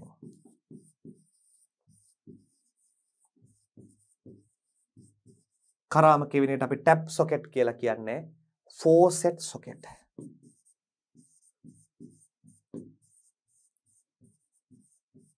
මෙයා පැටලෙන්න පුළුවන්. අර විදිහටම කොහොමද සම්බන්ධ කරන්නේ? මුද්‍රා පටි මේ වටේ එතුවා කරාම කෙවිනියත් එක්ක මෙය කරකවල සම්බන්ධ කරනවා. ඉන්පසු මේ කොටස සාමාන්‍ය පරිදි සාමාන්‍ය බටයට සම්බන්ධ කරනවා සාමාන්‍ය කෙවිනියක් විදියට අර අපි කලින් කතා කරා වගේ මේ කෙවිනියේ ඇතුල්පත් සහ බටේ එළිය පැත්ත හැක්සෝ බ්ලේඩ් කොටසකින් සූරණයකින් ස්ක්‍රේපරකින් සූරලා ද්‍රාවිය සිමෙන්ති අපි සොල්වන් සිමෙන්ට් කියලා කියන සිමෙන්ට් දාලා ඒ දෙක එකිනෙක සම්බන්ධ කිරීම සිදු කරනවා. බොහෝ අවස්ථාවලදී මෙය කාලයාගේ ඇවෑමෙන් මේ කරාමේ ක්‍රියාකාරීත්වය අඩපණ වෙන්න පුළුවන්. කාලයාගේ ඇවෑමෙන් මේ කරාමේ ක්‍රියාකාරීත්වය අඩපණ වෙන්න පුළුවන්. එවැනි අවස්ථාවකදී මේ ත්‍රෙඩ් එක හරහා මේ ගලවලා නැවත මුද්‍රාපටි අලුතෙන් යොදලා නව කරාමයක් මෙයට සම්බන්ධ කිරීමේ හැකියාව පවතිනවා. නව කරාමයක් මෙයට සම්බන්ධ කිරීමේ හැකියාව පවතිනවා. මේට අපි කියනවා කරාම කෙවිනි එහෙම නැත්නම් ෆෝසෙට් සොකට් කියලා. වැලමිට නැම්ම එල්බූ. වැලමිට නැම්ම එල්බූ. ඉංග්‍රීසි එල් අකුරේ හැඩයට නිපදවා ඇත. නල මාර්ග අංශක 90කින් හැරවීම සඳහා භාවිතා කරයි. මේ නල මාර්ග අංශක 90කින් හැරවීම සඳහා භාවිතා කරයි. අංශක 90කින් හැරවීම සඳහා භාවිතා කරයි. මෙයටත් නලයක් සම්බන්ධ කරන විටදී මෙන්න මේ ආකාරයේ සාමාන්‍ය නලයක් සම්බන්ධ කරන අවස්ථාවකදී මේ පැත්තරත් අපිට නලයක් සම්බන්ධ කරන්න තියෙනවා. අර විදිහටම මේ නල කෙලවර පළුදු කරලා පිරිසුදු කරලා ද්‍රාවිය සිමෙන්ති යොදලා ඇතුළට සම්බන්ධ කිරීමේ හැකියාවක් තියෙනවා. ස්ථීරයි. ආය ගලවන්න බෑ. පොට නෑනේ මේකේ. එල්බෝ වැලමිට නැම්ම අතේ වැලමිට වගේ අංශ කණුවකින් නැවෙනවා කියන අදහස් තමයි මේ කියන්නේ. එල් අකුරේ හැඩයට නිපදවා තියෙනවා. මෙවැනි හැඩයට වැලමිට නැම්ම තුල කපාට කෙවිනියක්ද අන්තර්ගත ජලනල උපාංග නූතනයේ වෙළඳ පොලේ දැකිය හැක. එමගින් උපාංග දෙකක් වෙනුවට තනි උපාංගයක් යොදා ගත හැක. දැන් අපි සාමාන්‍යයෙන් එල්බෝ එක ගත්තහම ඒකට අපි කියනවා එල්බෝ එක කියලා. මේක එල්බෝ. මේ එල්බෝ. එල්බෝ. සමහර අවස්ථාවලදී එනවා මෙන්න මේ විදිහට elbow with faucet socket. elbow with faucet socket. වැලමිට නැම්මයි මොන කෙවිනියයිද? කරාම කෙවිනියයි. ඒ කොහොමද තියෙන්නේ? කුඩා වෙනසක් තියෙන්නේ මේ. දැන් කරාම කෙවිනි එනකොට කොහොමද වෙන්න ඕනේ? ඇතුළත පොට. ඇතුළත පොට. මේ සාමාන්‍ය පරිදි. මේ වගේ කොතෙන්ටද මේක වැදගත් වන්නේ? නාන වතුර මල සම්බන්ධ කරන අවස්ථාවේදී. නාන වතුර මලේ බටේ ඇවිල්ලා මෙහෙම නැවෙනවා. නැවෙන තැනට දානවා elbow with faucet socket.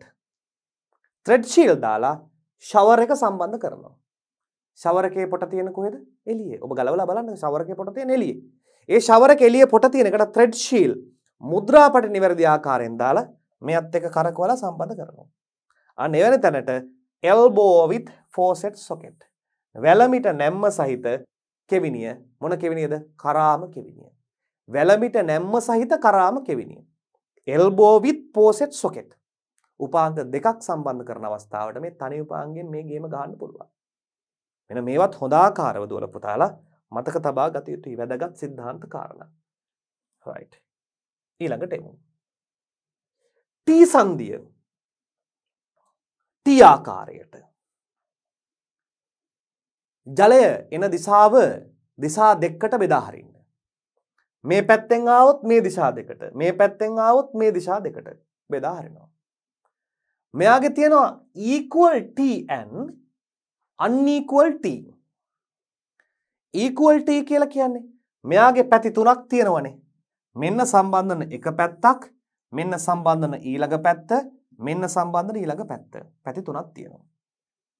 මේ පැති තුනට සමාන විශ්කම්භ සහිත නල භාවිතා කරනවා නම් equal t කියලා කියනවා. සමාන t.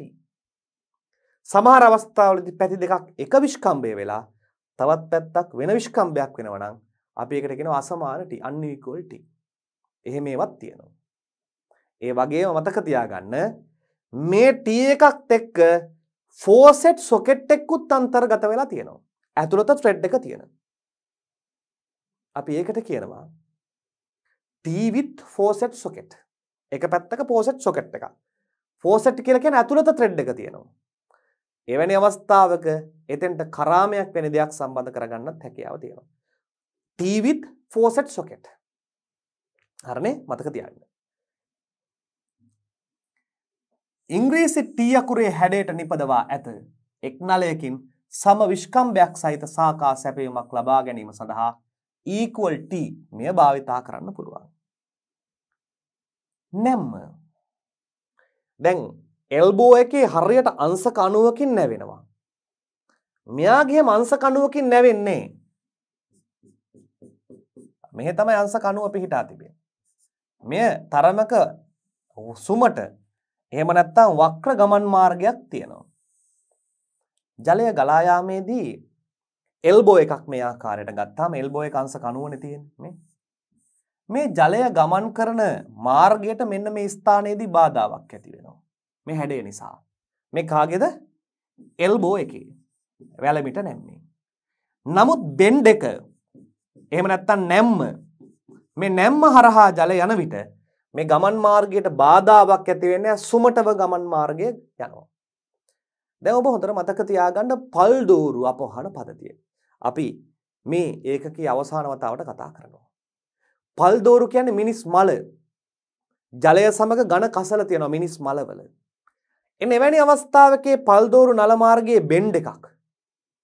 වෘත්තාකාර ගමන් මාර්ගයක් ඇති කරන්න මෙන්න මේ වගේ තැනක් භාවිතා කරොත් ඒ ස්ථානයේ මේවා හිර වෙන්න පුළුවන්, සිර වෙන්න පුළුවන්. ඒ වළක්වා ගැනීම සඳහා මෙන්න මෙවැනි බෙන්ඩ් එකක් භාවිතා කරාම මේ ද්‍රව්‍ය අනවශ්‍ය ආකාරයට මේ බෙන්ඩ් එකේ හිර වෙන්නේ නැතුව නිවැරදිව ගමන් කරන්න හැකියාව සැලසෙනවා. ජල මාර්ගයක කිසියම් හිරවීමක් ජල පීඩනය අඩුවේ යයි සිතන තැනක මේ වගේ බෙන්ඩ් එකක් යොදලා ජල මාර්ගය ස්මූත්ලි සුමටව ගමන් කරවීමේ හැකියාව. කසල සුමටව ගමන් කිරීමේ හැකියාව මේ බෙන්ඩ් එක සතු වෙනවා. මෙන්න මේ කාරණා හොඳින් මතක තියාගන්න වෙනවා සිද්ධාන්ත අහන අවස්ථාවකදී ගැටලුවලදී මේවා ගලපා ලියා ගන්න. නැම්ම බෙන්ඩ් එක නල මගක් වක්‍රාකාර කෝණික දිසාවට හැරවීම සඳහා නැමි භාවිතා කළ හැක විවිධ කෝණයන්ගෙන් නල හැරවීම සඳහා අවශ්‍ය වන නැමිද නිපදවා ඇත. දැන් මේ තියෙන අංශක අනුව සමහරට වෙළඳ පොලේ තියෙන අංශක 70 ඒ වගේ විවිධාකාර ගණන් වලුත් සමහර ලාවට තියෙන නැමි අපිට දැක් ගන්න පුළුවන් වර්තමාන තාක්ෂණයේ දියුණු වීමත් සමග. ඊළඟට අපි යමු දුවේ පුතේ නල අල්ලුවට මේ නල අල්ලු තියෙන්නේ ඇයි? ඉහළ මාල වලදී විශේෂයෙන් මේ ජල නල බිත්ති දිගේ තමයි අපි ඉහළට අරන් යන්නේ. ඒ බිත්ති දිගේ ගමන් කරනකොට මේ ජලයත් මේ හරහා යද්දී මේ නලය එල්ලා වැටීමට භාජනය වෙනවා. ඒ වගේම බිත්තියට ශක්තිමත්ව සම්බන්ධ කරන්න මෙන්න මේ වගේ නලාල්ලුවක් භාවිතා කරනවා. බිත්තිය විදලා ක්ලිප් කරලා මේ හරහා ස්කුරුප්පු ඇණයක් ඇන දෙකක් දෙපැත්තෙන් යොදලා මේ තුල මෙන්න මේ ආකාරයට නලය රැඳවීමේ හැකියාව තියෙනවා. මෙහිදී කියනවා යම්කිසි නලයක් පෘෂ්ඨය මත සවි කර ගැනීම සඳහා ක්ලිපයක් ලෙස නල අල්ලුව භාවිතා කළ හැක.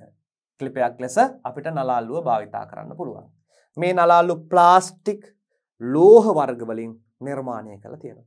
ප්ලාස්ටික් වර්ග එහෙම නැත්නම් ලෝහ වර්ග වලින් මේ නල අල්ලු දුවේ පුතේ නිර්මාණය කරලා තියෙනවා. PVC නල මූට්ටු කිරීමේ ද්‍රාව්‍ය සිමෙන්ති එහෙම නැත්නම් සොල්වන්ට් සිමෙන්ට් ක්‍රමය. PVC නල එකට එකතු කරන්න ද්‍රාව්‍ය සිමෙන්ති. දැන් අපි මේ පිළිබඳව සාකච්ඡා කරවවත් එක්ක. සාමාන්‍ය කෙවිනිය ඒ වගේම අපි කතා කරපු වෑල් සොකට් ෆෝසට් සොකට් මේ වගේ දෙපැත්ත සම්බන්ධ කරන්න අනිවාර්යෙන් අපි දාවිය සිමෙන්ති අවශ්‍යයි. දැන් බලමු කොහොමද මේක සම්බන්ධ කරන්නේ. අපි ඔබට පැහැදිලි කරපු විදිය නිවැරදි ආකාරයෙන් ලියවී තිබෙනවාද? අපි මේ විදිහට බලමු. මෙය PVC නල උපාංග සම්බන්ධ කිරීම සඳහා බහුලව භාවිතා කරන සරල ක්‍රමයකි. මෙය PVC වෙල්ඩින් මූට්ටුව නමින්ද හැඳින්වේ. මූට්ටු කිරීම සඳහා ද්‍රාවිය සිමෙන්ති සොල්වන් සිමෙන්ට් භාවිතා කරයි. මේ මූට්ටු කරන්න අපි භාවිතා කරනවා මොකද දුවේ පුතේ? ද්‍රාවීය සිමෙන්ති එහෙම නැත්නම් සොල්වන් සිමෙන්ට් භාවිතා කරනවා. ඔබට කලින් කිව්වා. වාෂ්පශීලී ද්‍රව්‍යයක් මේ ද්‍රව්‍ය පොඩි ප්‍රමාණයක් නලය වටා ආලේප කරන අවස්ථාවේදී නලය කිසියම් විදියකට උණු වීමක් ද්‍රව වීමක් ආසන්න වශයෙන් පටන් ගන්නවා. ඒ අවස්ථාවේ නලය සහ සොකටය ලං කරාම ඒ දෙක එක් එකලසක් ලෙස පෑසීම මූට්ටු වෙනවා. මේකට වෙල්ඩිම කියලා කියන්නේ ස්තීර වශයෙන් එකතු වෙන නිසා. පෑසීම වෙල්ඩිම පෑසීම ගලවන්න පුළුවන්. වෙල්ඩිමක් ගලවන්න බැහැ ස්ථීරයි. ඒ නිසා මේකට PVC වෙල්ඩිම කියන නම භාවිතා වනවා. බ්‍රිතාන්‍ය පිරිවිතර BS 443යි 46 තුන කොටස අනුව නිපදව ඇති ද්‍රාවීය සිමෙන්ති වාෂ්පශීලීය. අන්න මේවට දෙනවා පිරිවිතරක් ස්පෙසිෆිකේෂන් එකක්.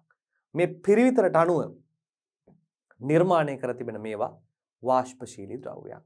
කට ඇරලා තිබ්බොත් මේ අදාළ ද්‍රව්‍ය ටික වාෂ්ප වෙලා යනවා. මෙම ද්‍රාවීය සිමෙන්ති මගින් වෑද්දීම කර හොඳින් වියලී උපරිම ශක්තිය එනතුරු භාවිතයට ගැනීම සුදුසු නොවීම. දැන් අපි කලින් කතා කරපු පරිදි සොකටේ අභ්‍යන්තරයේ ද්‍රාවීය සිමෙන්ති ගානවා නලයේ කෙළවර ද්‍රාවීය සිමෙන්ති ගාලා මේ දෙක එකට එකතු කරලා ටිකක් වෙලා තියන්න ඕනේ. සාමාන්‍ය මේ එකට එකතු කරන විට ඇතුළේ තියෙන ද්‍රාවීය සිමෙන්ති එළියේ තියෙන ද්‍රාවීය සිමෙන්ති එළියට එනවා. අපි බොහෝ වෙලාවට ඇඟිල්ල අරගෙන මේකේ වටේට එහෙම නැත්නම් එයාගේ පින්සලෙන් මෙයාට වටේට නැවත තතාවක් ධාරයේ වටේට ගානවා. ගාලා මද වෙලාවක් මෙයාට තිබුණට පස්සේ තමයි එයා හයි වෙන්නේ. ඒ ඇතුළට යොදලා මෙහා අය අය මෙහි මේ කරකවීම සිදු කරහොත් මේ මූට්ටුව දුර්වල වෙන්න පුළුවන්. ඒ නිසා ටික වෙලාවක් මද වෙලාවක් දෙක එකතු කරලා තිබුවාම ඒ ද්‍රාව්‍ය සිමෙන්ති එහෙම වේලෙන්න පටන් ගන්නවා. ඉන්පසු අපිට කිසිම අවස්ථාවක මේ බට ඉවතට ගන්න බෑ. එය ස්ථිරයි. මෙම ක්‍රමයේදී නල කෙලවර පිටත සහ කෙවිනිය ඇතුළත පීරක් හෝ රයිමරයක් ආධාරයෙන් සුමට කර එම ස්ථානය හොඳින් පිරිසිදු කර ගත යුතුය. අර ද්‍රාවිය සිමෙන්ති හොඳින් කාවදින්න මේ අභ්‍යන්තරය කොටස පීරකින් හෝ මේක පළුදු කරන්න. මගේ නලේ කෙලවරත් පීරකින් හෝ කිසියම් ද්‍රාවයකින් පළුදු කිරීම කරලා තමයි ද්‍රාවිය සිමෙන්ති ආලේප කරන්න. ඉන් පසුව තමයි මේ නලය සම්බන්ධ කිරීම කරන්න. ද්‍රාවිය සිමෙන්ති කෙවිනියේ ඇතුල් පැත්තෙහි සහ නලයේ පිට පැත්තෙහි හොඳින් ආලේප කර නල කෙලවර කෙවිනිය තුළට ඇතුළු කර සලකුණු කර ඇති ස්ථානය දක්වා තල්ලු කළ යුතුය. මෙන විශේෂ කාරණාවක් මෙන්න මේ විදිහට අපි කෙවිනිය ගත්තා. මෙන්න මේ කෙවිනියේ මෙයාගේ සලකුණු කර තියෙන කොටසක් තියෙනවා. මෙන්න මේ කොටසට වෙනකන් අපි කියමු මෙයායි ඝනකම මෙන්න මේ වගේ කියලා ඔයන ඝනකමක් තියෙනවා. සාමාන්‍ය ඝනකමක් තියෙනවානේ. අන්න ඒ මේ සම්බන්ධ කර තිබෙන කොටසට වෙනකන් අර නලය කුමක් කළ යුතුද තල්ලු කිරීම කළ යුතුයි. එතකොට තමයි දුවේ පුතේ හොඳ සම්බන්ධතාවයක් ඇති වෙන්නේ. එහෙම නැත්නම් බාගෙට මේ යදා තිබොත් අධික එන පීඩනයට නලයේ පීඩනයට මේ මූට්ටුව ද්‍රාවීය සිමෙන්තිත් එක්ක ගැලවිලා යන්න පුළුවන්. අර කොටසටම තුලටම කාවැද්දීම සිදු කළ යුතුයි. මෙම මූට්ටුව වියලීමට ගතවන කාලය උෂ්ණත්වය සහ නලයේ හරස්කඩ වර්ගඵලය වෙන කරුණු මත රඳා පවතී. සාමාන්‍යයෙන් භාවිතයට ගැනීමට පෙර පැය භාගයක් පමණ සවිවීමට තැබිය යුතුයි.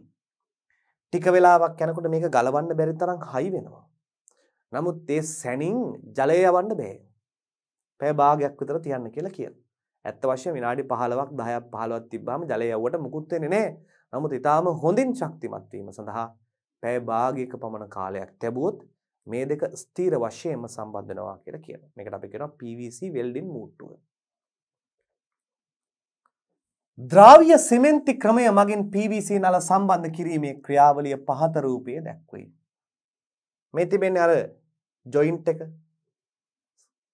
අන්න ඒ තුලටම නලය කාවැද්ද වීම. ඒ තුලටම නලය යෙදීම අනිවාර්යෙන් දුවේ පොතේ සිදු කළ යුතුයි. ඊළඟට අපි තවත් විශේෂිත වාක්‍යයකට එහෙම නැත්නම් විශේෂිත පදයකට එනවා දිය කෙටුම එහෙම නැත්නම් වෝට හැම මේ නල තුල සිදුවන ක්‍රියාවලියකට අපි කියනවා දිය කෙටුම හෙවත් වෝට හැම කියලා. ඔබ දන්නවා ඔබේ නිවසේ එළිය මිදුලේ තිබෙන සාකවලට මල් පැලවලට වතුර දාන්න අපි භාවිතා කරනවා ෆ්ලෙක්සිබල් හෝස් එකක්. ෆ්ලෙක්සිබල් කියලා කියන සුනම්‍ය නලයක්. මේ එළිය තියෙන ගාඩන් ටැප් එකට හිටි කරාමයකට සම්බන්ධ කරලා ජලය දානවා. ජලය ඉසිනවා. අපිට එකවර නලය නවලා ෆ්ලෙක්සිබල් හෝස් එක නවලා අල්ල ගන්නවා. නවල නලය අල්ලගත්ත ගමන් ඔබට මේ නලයේ ගැස්සීමක්, පැද්දීමක්, කම්පනයක් ඇතිවන බව ඔබට දැනෙනවා. මේකට අපි කියනවා දියකෙටුම. ඔබට මතක ඇති ඒ වගේ දියකෙටුම් තත්වයක් ඇති වෙනවා. ජලවිදුලි බලාගාරයකදී ජලය නිපදවන පෙන්ස්ටොක් නලයේ කෙලවර වහන්න ගියාම ඇතිවන දියකෙටුම. ඒ සඳහා සර්ජන කුටීරිය සර්ච් ටෑන්ක් එක ඒ අවස්ථාවේදී විශේෂ වශයෙන් භාවිතා වෙනවා. දිය කෙටුමක් කියන්නේ කුමක්ද? දැන් ඇත්තටම නලයක් තුල ගමන් කරන්නේ තරලයක්නේ. ජල තරලය. මේ ජල තරලය ගමන් කරන අවස්ථාවේදී එයාගේ දිශාව වෙනස් කිරීම එයාගේ ප්‍රවේගය වැඩි කිරීම ප්‍රවේගය අඩු කිරීම. නැවැත්වීම ප්‍රවේගය වැඩි කිරීම අඩු කිරීම. කරන අවස්ථාවකදී යොදන බලයට ප්‍රතිවරුද්ධ බලයක් නිර්මාණය වෙනවා. ඒ නිසා මේ නල ගැස්සීමට කම්පනයට භාජනය වෙලා ශක්ති හානි වෙන්නත් පුළුවන්. ඒ වගේම සම්බන්ධක ස්ථානවලින් මේ නල ගැලවී යන්නත් පුළුවන්. එනිසා මේ දියකෙටුම් තත්ත්වවලින් මේ නල ආරක්ෂා කරගත යුතුයි. මේ විදිහට බලමු. නලයක් තුල තරලයක් චලනය වීමේදී හදිසියේ එම චලනය නැවැත්වීමට හෝ එම චලිත දිසා වෙනස් කිරීම හෝ හේතුවෙන් ඇතිවන සර්ජනය සර්ජ් හේතුවෙන් දියකෙටුමක් වෝට හැමර එකක් හටගනී. මොකක්ද කියන්නේ තාම ලස්සනට නලයක් තුල තරලයක් චලිත වීමේදී හදිසියේ එම චලනය නැවැත්වීමට හෝ චලිත දිසාව වෙනස් කිරීම හේතුවෙන් නැවැත්වීමට හෝ චලිත දිසාව වෙනස් කිරීම හේතුවෙන් ඇතිවන සර්ජනය සර්ජ් හේතුවෙන් දිය කෙටුමක් වෝට හැමර එකක් හටගනී. දිය කෙටුමක් වෝට හැමර එකක් හටගනී. මෙයට හේතු වන්නේ චලනය වෙමින් පවතින ජලස්කන්දයේ වේගය වෙනස් කිරීම සඳහා මෙයට හේතු වන්නේ චලනය වෙමින් පවතින ජලස්කන්දයේ වේගය වෙනස් කිරීම සඳහා එම ස්කන්ධය ත්වරණයට හෝ මන්දනයට භාජනය වී බලයක් ගොඩනැගීමයි. එමගින් පීඩන තරංග බිහිවේ. එසේ තරලය ගමන් කරන තරලය මන්දනය කරන්න අවස්ථාවේදී ත්වරණය කරන්න අවස්ථාවේදී නවත්වන්න අවස්ථාවේදී ඊට එරෙහිව බලයක් නිර්මාණය වෙනවා එය පීඩන තරංගයක් ආකාරයට ක්‍රියාත්මක කළා නලය කම්පනයට භාජනය වෙලා ගැස්සීම පැද්දීම වෙලා සමහර අවස්ථාවලදී ගැලවී යන්න පුළුවන් කැඩී යන්න පුළුවන් මෙන්න මේට අපි කියනවා දිය කෙටුමක් කියලා. දිය කෙටුම් බහුලව ඇතිවන අවස්ථාවක් ලෙස ජනනල පදතියක කෙලවර ඇති කපාටයක් එකවර වැසීම ඒ නිසා ඇතිවන පීඩන තරංග නලය තුලින් ගමන් කිරීම හඳුනාගත හැක. නලයේ කෙලවර එකවර වහන්න යනවා. ඒක තමයි මම ඔබට හොඳටම කිව්වේ වතුර දාන හෝස් එක කෙලවර වහන්න යනවා. ඒ අවස්ථාවේදී නලය එකවර කම්පණයට ගැස්සීමට භාජනය වෙනවා. මේ තමයි දිය කෙටුම. දිය කෙටුම නිසා ජල්නල පදතියක ශබ්දය නොයිස් කම්පනය වයිබ්‍රේෂන් නැතිවේ. ඒ හේතුවෙන් ගෙන ජලනල පද්ධතිය බිඳ වැටීම කලැප්ස් පවා සිදුවේ. අන සබ්දයක් එෙනවා කම්පනයක් එෙනවා. හේතුවෙන් ගෙන යන ජලනල පද්ධතිය ජලයගෙන යන පද්ධතිය කලප්ස් බිඳ වැටීමට භාජනය වෙනවා.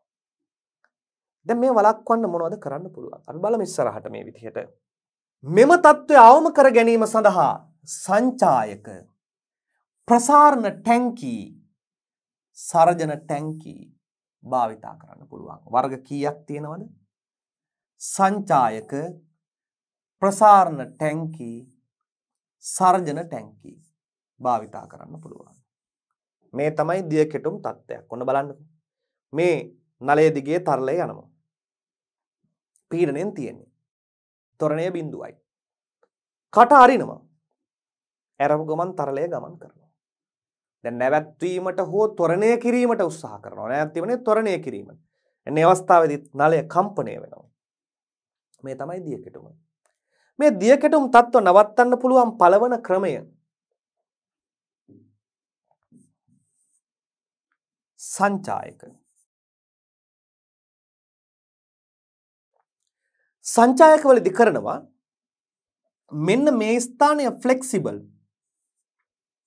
මේ ස්ථානය මේ වගේ පිම්බෙන්ඩ දිගහැරෙන්න පුළුවන් ඒ වගේ ක්‍රියාවලියක් අර පීරණ තරන්ගෙන් කම්පන තරන්ගෙන් බලය යොදලා සංචායකය ඇකියුම්ලේටරය හැකිලෙනවා පිම්බෙනවා.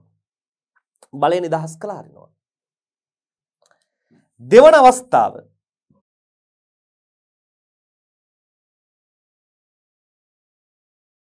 ප්‍රසාරණ ටැන්කි. දැන් මේ බලන්න නලය ජලය යනවා මේ ආකාරයට මෙන්න මේ ස්ථානයේ ටැංකියක් තියෙනවා මෙන්න මෙතන තමයි වෑල් එක පිහිටා තිබෙන්නේ. කරාමය. කරාමය අරින වහනකොට දැන් මේ දිශාවට තමයි ජලය යන්නේ කියලා හිතන්න. කරාමය අරින වහන අවස්ථාවලදී ඇතිවන අධිපීඩිත බලය මෙන්න මේ ප්‍රසාරණ ටැංකිය මේ වටේ චලනය වෙලා කම්පනය මුදාහරිනවා. පදතට හානියක් වෙන්නේ නැහැ. අපි සර්ජන ටැංකිය ගැන තුන්වෙනිට කතා කරමු. Surge tank. මේ පිළිබඳව අපි කලින් අධ්‍යයනය කරලා තියෙනවා. විදුලි බලය නිපදවීම හා බෙදා හැරීම පාඩමේදී. ඒ සඳහා හොඳම උදාහරණය මෙන්න මේ විදිහට බලන්න දුවල පුතාලා. උමග හරහා එන ජලය එක වරම සීග්‍ර බෑවුමක් සහිතව විශ්කම්භය අඩුවන ආකාරයට මෙන්න මේ ජලය තලබඹරයකට ලබා දෙනවා. ඔන්න තලබඹරය මේ ජල පහරෙන් කැරකෙනවා. මෙන්න මෙතන ස්ථානගත කරලා තියෙනවා මෙන්න මේ කතා කරන සර්ජන ටැංකිය. මේ ජල පහර හදිස්සිය නවත්තන්න ඕන. තලබඹරේ විදුලි බලාගාරයේ නඩත්තු කටයුතු සඳහා. නවත්තනවා කියලා කියන්නේ මොකන්ද. නලයක් තුළ තරලයක් චලනය වීමේදී හදිසිය ත්වරණය කිරීම හෝ මන්දනය කිරීම හෝ නැවැත්වීම අන්න නැවැත්තුවා.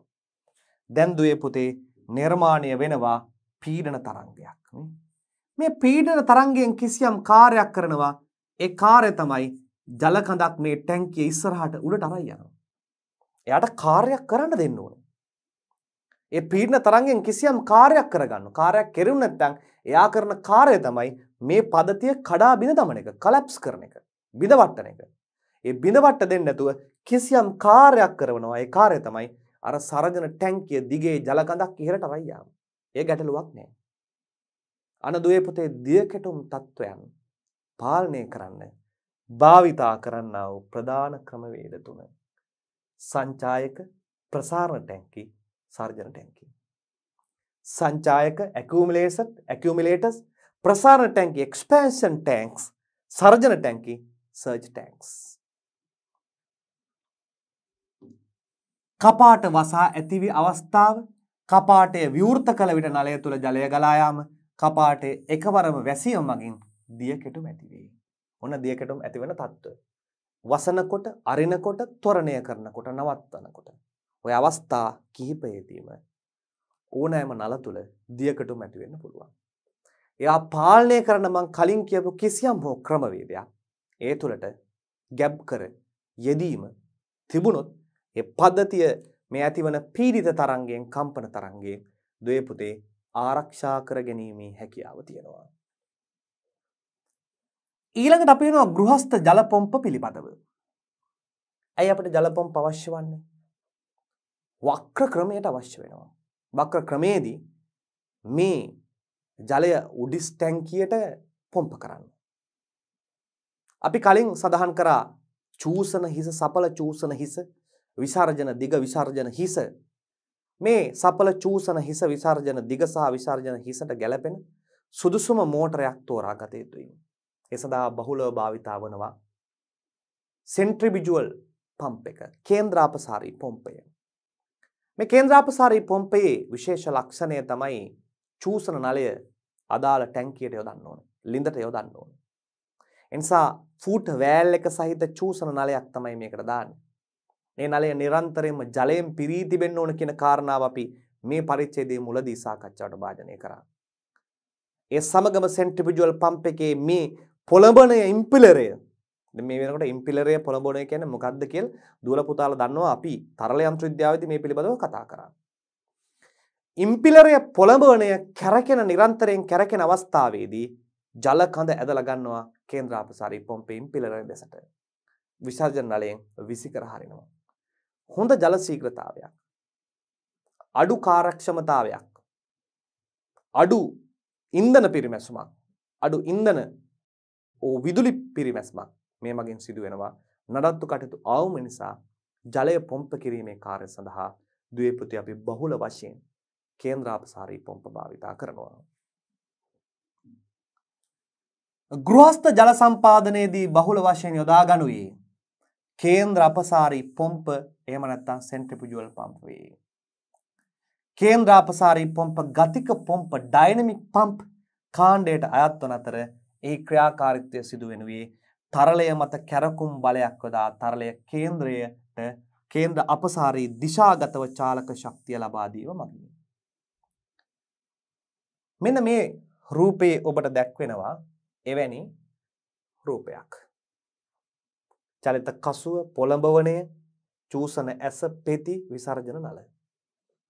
මෙන්න මේ චූසන ඇසට තමයි චූසන නලය මෙන්න මේ ආකාරයෙන් සම්බන්ධ කරලා එය ජල ප්‍රභවයේ අභ්‍යන්තරයට ලිඳට දාන්නේ. මෙන්න මෙතන අපේ තියෙන අනිවාර්යෙන් පා කපාටයක් අත්‍යවශ්‍යයි. පා කපාටය එහෙම නැත්නම් ෆූට් වෑල්ව් එක අත්‍යවශ්‍ය කාරණාවක්. මේ සම්පූර්ණයෙන්ම ජලයෙන් පිරී තිබෙනවා. කේන්ද්‍රාපසාරී පොම්පේ මේ ඉම්පිලරය පොළඹවණය කරකවන්න ඕන. ඒ කරකවන්න ක්‍රම දෙකක් භාවිතා වනවා.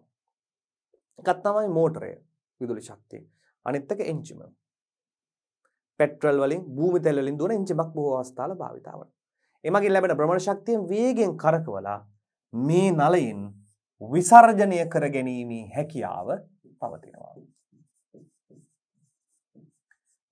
මේ ඉම්පිලරය කැරකීම මත මේ කැරකෙන විට ඇතිවන කේන්ද්‍ර අපසාරී බලයෙන් අර ද්‍රවය මත එම නැත්නම් ජලය මත වැඩි පීඩනයක් නිර්මාණය කරලා මේ විසර්ජන නලය ඔස්සේ ඉවතට විසිකිරීමේ හැකියාව මේ කේන්ද්‍රාපසාරී පොම්ප සතුව පවතිනවා. කේන්ද්‍රාපසාරී පොම්ප මගින් තරල පොම්ප කිරීම සිදුවන්නේ කේන්ද්‍රාපසාරී බලය මගින් ඇතිකරු ලබන තරල පීඩනය උපයෝග කරගෙනය. මෙම පොම්පයක ප්‍රධාන ක්‍රියාකාරී උපාන්ගේ වන්නේ මෙන්න මේ පොළඹවනේ ඉම්පිලරය අර මැද තියෙන කොටස පොළඹවන ඉම්පිලරය සහ කසුව වේ. ඉම්පිලරය කැරකෙන විට ඉම්පිලරය මගින් මේ දෙපසට විසි කරන ඉවතට විසි කරන ජලය කසුව කියලා කෙන කේසින් එක තුළ හිර වෙනවා. චූසන ඇසෙන් ඇතුළු වන දැන් චූසන ඇසෙන් ඇතුළු වෙන ජලය අර මේ පෙති ඉම්පිලර් තියෙන පෙති මගින් විසි කරනවා ඉවතට. ඉවතට විසි කරාම අහුවෙන්නේ මොකද්ද?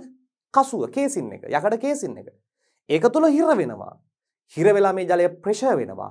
ප්‍රෙෂර් වෙනකොට යන්න දෙන එකම මාර්ගය විසර්ජන නලය. විසර්ජන නලයෙන් ඔස්සේ ගිහලා විශාල ප්‍රවේගයකින් ජල ශීඝ්‍රතාවයක ඉලියට සියනවා. ඉම්පිලරය කරකන වේගය වැඩි කරනවා කියලා කියන්නේ එක්ක මෝටරේ වේගය වැඩි කරන්න ඕනේ. එහෙම නැත්නම් එන්ජිමේ RPM එක වැඩි කරන්න ඕනේ. RPM එක වැඩි කරන්න වැඩි කරන්න වැඩි කරන්න විසර්ජන ජල ප්‍රමාණයත් මෙයාගේ දුවේ පුතේ වැඩි වෙනවා. ඒ නිසා මේ වර්ගය කෘෂිකාර්මාන්තික කටයුතු ඒ වගේම නිවසේ කටයුතු විශේෂයෙන් වැදගත් වන බහුලව භාවිතා කරන පොම්ප වර්ගයක් සේ ගන්න පුළුවන්. පොළඹවණය මගින් ජලස්කන්ධය කරකවීම සඳහා චාලක ශක්තිය ලබා දී කේන්ද්‍ර අපසාරී බලය යටතේ වැරගැන්වෙන තරල ප්‍රවාහයක් අඩු ප්‍රතිරෝධී බලයක් යටතේ දිශා ගනු ලබන්නේ කසුව මගිනි. අර ඉම්පිලරෙන් එන බලය කසුව විසින් විසර්ජන නලය දිසාවට යොමු කරනවා. එහෙම විසි වෙලා යනවා. මෙම කසුව සඳහා ක්‍රමයෙන් විශාල වන විස්කම්භයක් ඇති වනසේ සර්පිලාකාර හැඩයෙන් යුක්තව නිර්මාණය කර නිසා සංචලිත කසුව ලෙස හැඳින්වේ. සර්පිලයක් ආකාරයෙන් මේ වක්‍ර ගැහුණු ස්වභාවයක්. මේ වක්‍ර ගැහුණු ස්වභාවයක් සර්පිලයක් ආකාරයෙන්. ඒ වගේම කුඩා විස්කම්භයකින් පටන් ගන්න විශාල විස්කම්භයක්. කුඩා විස්කම්භයකින් පටන් ගන්න විශාල විස්කම්භයකට යනවා. ඒ නිසා මෙන්න මේ කසුවට ලස්සන නමක් භාවිතා වෙනවා සංචලිත කසුව. මෙයාගේ සර්පිලාකාර හැඩයයි විශ්කම්භය ක්‍රමයෙන් විශාල වන විදිහත් එක්ක මෙයාට කියනවා සංචලිත කසුව කියලා. ගැඹුරු ලින් මගින් ජලය පොම්ප කිරීමේදී ගිල්විය හැකි පොම්ප සබ්මෙසිමල් පොම්පද යොදා ගැනීම. අන තවත් විශේෂ පොම්ප වර්ගයක් ගැඹුරු ලිං වලින් ජලය පොම්ප කරන්න භාවිතා කරනවා. දැන් මෙයාගේ ක්‍රියාකාරීත්වය බලන්න. මෙන්න මේ විදිහට ගැඹුරු ලිඳක් තියෙනවා. ඔන්න ගැඹුරු ලිඳේ මෙන්න මේ විදිහට ජල මට්ටමේ මේ පොම්ප් ජලය තියෙනවා. මෙන්න මේ සබ්මෙසිමල් පොම්ප් එක මේ ගැඹුරු ලිඳට බස්සනවා.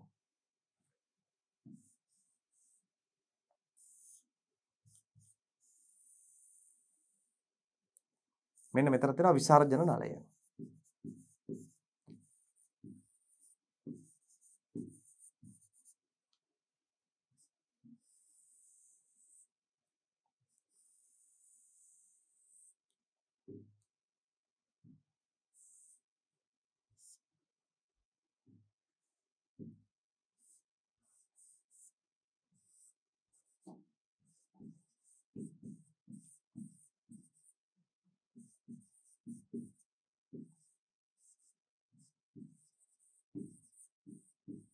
දැන් මෙයාගේ විශේෂ හැකියාව තිබෙන්නේ දුවේ පුතේ මෙයාට මේ චූසන නලවලට වතුර පුරව පුර ඉන්න දෙයක් නැහැ. අදාළ ගැඹුරු ලිඳට මේ යුනිට් එක දාන්නයි තියෙන්නේ. එහිදී මෝටරයක් හෝ එන්ජිමක් මගින් භ්‍රමණ ශක්තියක් නිපදවිය යුතුයි. මොකද හැකියාව මෝටරයක් හෝ එන්ජිමක් මගින් භ්‍රමණ ශක්තියක් නිපදවිය යුතුයි.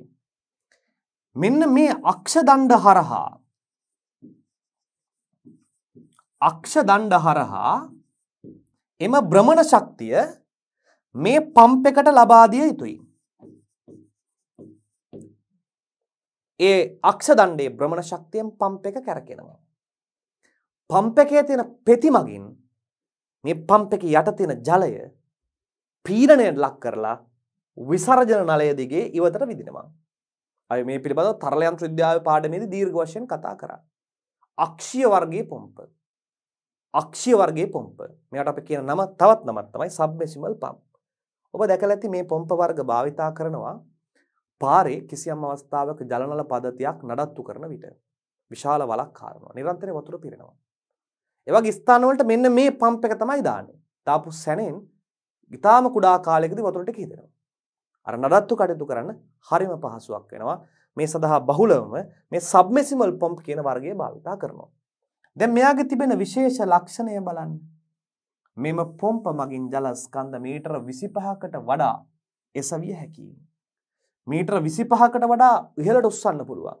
ගැඹුරේ තියෙන වතුර මීටර් 25කට වඩා උස්සන්න පුළුවන්. නිසා විශාල වශයෙන් මේ වෝටර් බෝඩ් එක ජල සම්පාදන මණ්ඩලේ නඩත්තු කටයුතු සඳහා බොහෝ අවස්ථාවල මේ භාවිතා කරනවා. ඊළඟට ජලනල සැපයීමක් භාවිතා වන උපාංග සංකේත පහත දැක්වෙනවා.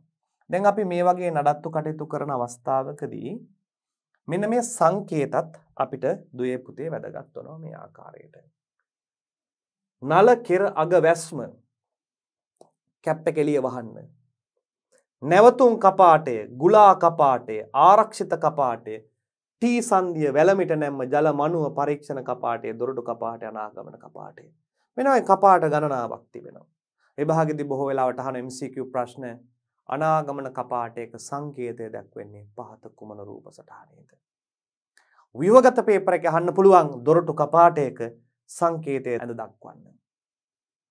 පහත නම් කර ඇති කපාටය මගින් කෙරෙන කාර්යභාරය කුමක්ද මේ සංකේතය පමණයි දීලා තියෙන්නේ. කෙරෙන කාර්යභාරය යන ඔබෙන් අහන්නේ මේ අනාගමන කපාටයක්වද කියලා කියන්නේ. එවැනි අවස්ථාවක මේ සංකේතය භාවිතයෙන් සංකේතයෙන් ඔබ හඳුනාගත යුතුයි මේ කපාටය මොන වර්ගයේ කපාටයක් කියලාද. දැන් අපි මේ කොටසේ අවසානයට ළඟා වෙලා ඉවරයි. අපි මේ කොටස තුලදී නිවසක ජලනල පද්ධතිය එකලස් කරන ආකාරය දීර්ඝ වශයෙන් දුවල පුතාලත් එක්ක සාකච්ඡා කරා.